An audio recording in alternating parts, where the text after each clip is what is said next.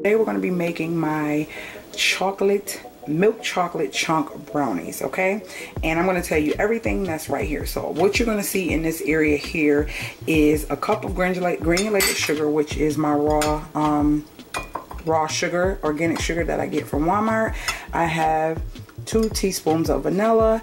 Then over here, I have three fourth cup of all-purpose flour, two large eggs, a half a teaspoon of salt, and I have a fourth of a cup of Hershey's cocoa powder unsweetened. And then I have a half a cup of um, butter and two tablespoons of butter. And then over here, I have my pan ready with parchment paper in it. And I have my morsels that I'm about to double boil. And we're getting ready to get this started. So before we begin, we're going to cut the oven on 350 and let that preheat. And then the next step is going to take the butter and I'm going to put it in the microwave and let that melt because we need that melted in order to get this started. And I also have a bar of milk chocolate. You can use the milk chocolate of your choice, dark chocolate, whatever you choose from Aldi's. And I'm going to chop that up and that's going to go into the brownies a little bit later. So let's get started with melting the butter.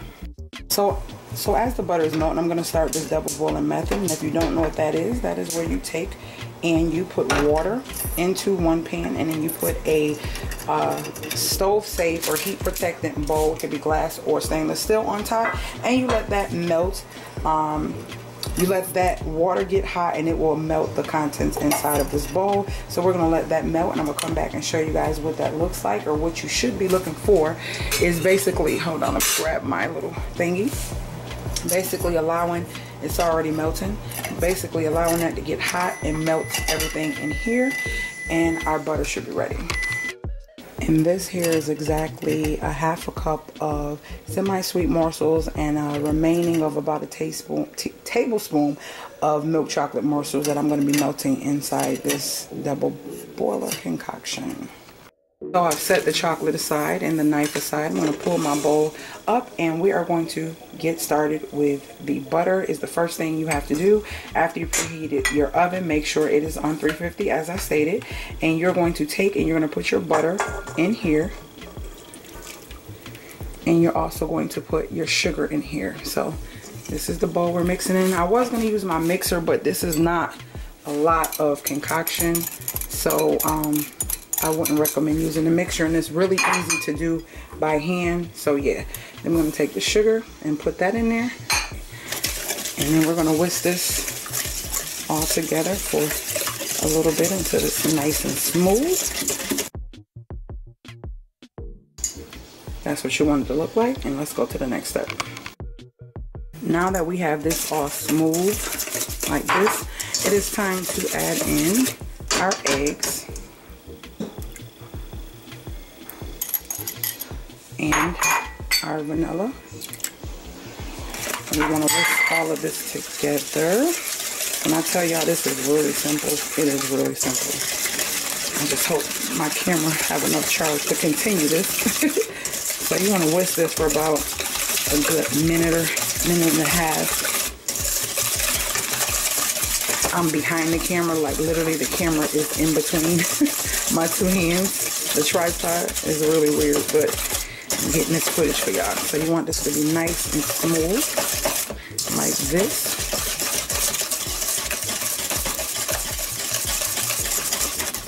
Now that that's nice and smooth, we're gonna go over to our double boiler to show you what that's looking like.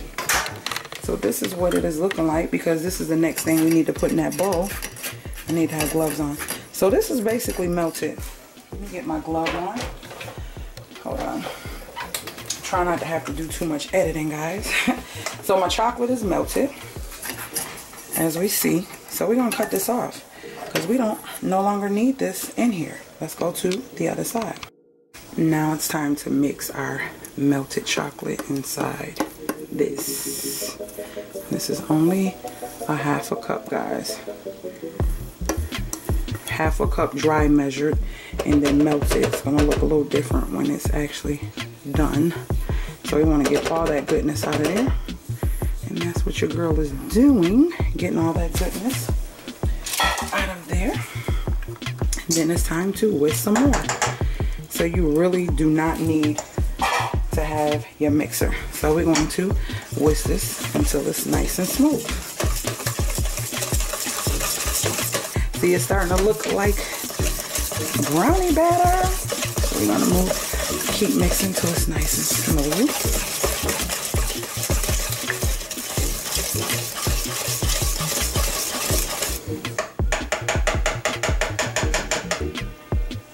Now it's time to get the flour, cocoa powder, and the salt, and it's time to put that in. So,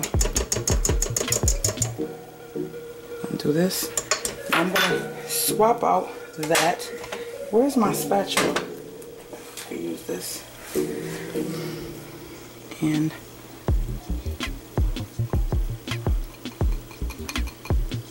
y'all, this is so simple. Okay? Just try not to move my tripod and trying to work around it. So you want to stir this in until it's combined really well. And I want y'all to tell me how your family likes these brownies once you make them.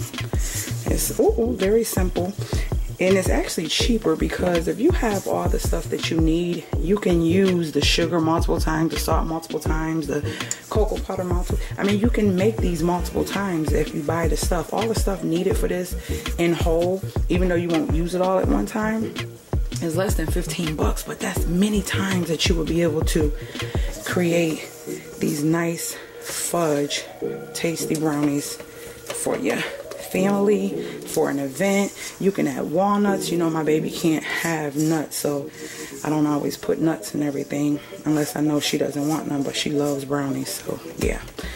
I just do them without. And if I really want them, I just put them on the top. So yeah, let me mix this up really well and I'll be right back. Now that that is mixed well, the next step is grabbing our chocolate bar because we're putting all this in there. I'm going to open this up. And this is right from Aldi's. I'm just going to do it like this because I want it to be like chocolate chunks. And we're just going to break that up in there. And that way we can have some nice chunks of chocolate. Because these are chocolate, milk chocolate chunk brownies. And I actually don't even have to use all of these. So I'm probably to use half a bar maybe more depends. Now you could which this is what I was going to do. Just chop chop at the um the chocolate. So that way it's nice and small. And it can get all through. The actual that's my oven ready. All through the mixture. So yeah so this is how much I'll have left of that once I'm done. I love when chunks of chocolate are in my brownie. Okay.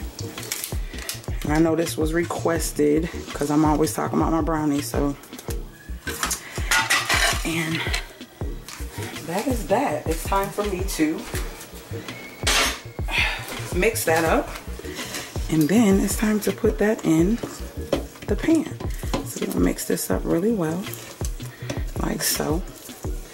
Hope I'm in the camera. I can kind of see, but when I'm turning my head to the side, I can't see everything. Hold on. So, there we go. We'll mix that up good, like this. And then we're gonna put this in our pre-greased pan, with parchment paper.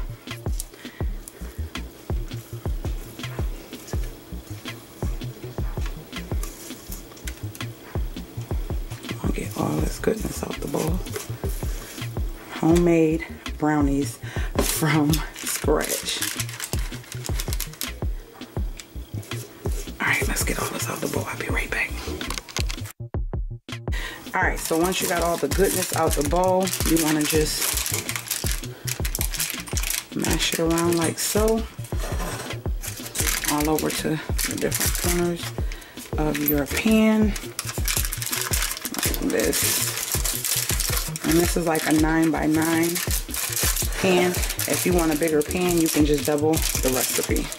Okay? Just double the recipe, that's all guys. Now this is going to spread once it starts getting heated.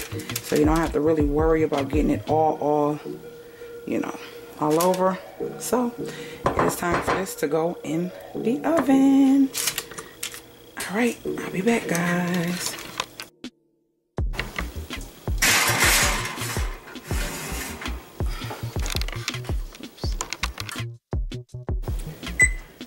Be sure to bake for 30 minutes, guys. Now it is time for these to come out of the oven.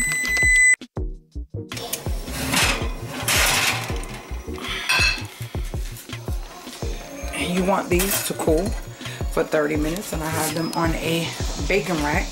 So we're gonna let these sit before you even cut into them or do anything for 30 minutes. So do not touch them. Do not touch them at all. Just let them cool for 30 minutes and you can set a timer. Don't they look good, guys? Oh my gosh, look. Nice and fudgy. So I'm gonna set a timer for 30 minutes and let them cool. All right, guys, they are done. And so they've been sitting here for 30 minutes. And so I'm gonna take them out the parchment paper and lay them on the counter. And so you guys can see me cut these bad boys. All right, guys, so these are the brownies and they are done. Let me pull my camera back just a little bit. It's hard to cut them in the camera, but we are going to cut them so y'all can see how these bad boys came out. Y'all, if y'all don't know nothing else, just tell me y'all love me when y'all try these. That's all I'm saying. Just tell me y'all love me when y'all try them. All right? So we're gonna go in and grab one of these bad boys. And do y'all do y'all see? Oh, do y'all see what's going on?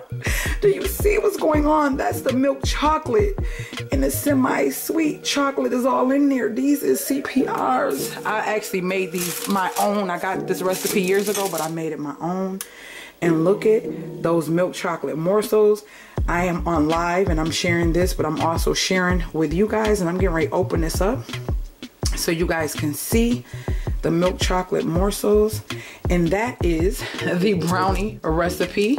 I hope you guys enjoyed this video. I love you guys. And make sure if you have any comments leave them below. And all of the ingredients to this recipe will be below in the description box. And i thank you guys for rolling with me as i make some fudge and milk chocolate chunk of brownies from scratch. Later gators